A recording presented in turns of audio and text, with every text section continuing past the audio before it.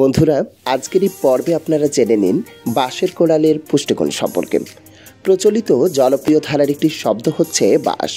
একে অপরকে ক্ষতি করার ক্ষেত্রে অথবা উপহাস করার ছলে বাঁশ শব্দটি ব্যবহার করি আমরা। কিন্তু বাঁশের কত রকমের পুষ্টিগুণ আছে তা আমরা জানি না। অথচ আমাদের দেশের পাহাড়ি অঞ্চলে বাঁশ খুবই সুস্বাদু একটি খাবার। দৈহিক সুস্থতায় বাঁশ খুবই উপকারী। বিভিন্ন রোগ থেকে খুব সহজেই মুক্তি দিতে বাঁশের কার্যকারিতা অপরিসীম। তাই তো চীনারা বাঁশের কোড়লকে বলেন স্বাস্থ্যকর খাবারের রাজা। বাঁশের পুষ্টিগুণ। তাজা বাঁশের কোরলে অষ্টআশি থেকে নয় তিন পার্সেন্ট পানি রয়েছে।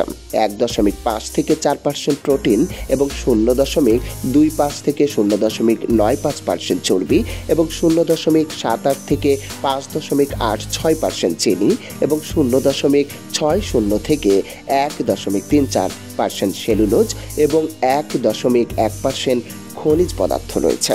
এতে পর্যাপ্ত পরিমাণ ভিটামিনও বিদ্যমান। বাঁশের উপকারিতা। বিভিন্ন গবেষণা থেকে জানা গেছে, দেহের নানা রোগ প্রতিরোধ করে বাঁশ। বাঁশের কোড়ল দেহে কোলেস্টেরলের মাত্রা কমিয়ে হৃদরোগের ঝুঁকি কমায়। এটি উচ্চ রক্তচাপ কমায় এবং ক্যান্সারেরও ঝুঁকি কমায়। কোষ্ঠকাঠিন্য দূর করতে বাঁশের কোনো জুড়ি নেই। তাছাড়া হাঁপানি, ডায়াবেটিস, তীব্র জ্বর মৃগরোগে মূর্ছা যাওয়া ইত্যাদি নিরাময়েও যথেষ্ট অবদান রাখে বাস। তাই তো যে কোনো সবজির সঙ্গে তুলনা করলে বাঁশের কোরল কোনোভাবেই হেলাফেলার নয়।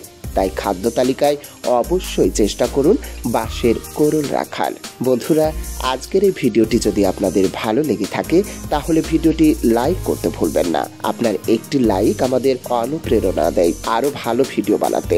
আর এমন আরও ভিডিও দেখতে চ্যানেলটি অবশ্যই সাবস্ক্রাইব করুন। ধন্যবাদ।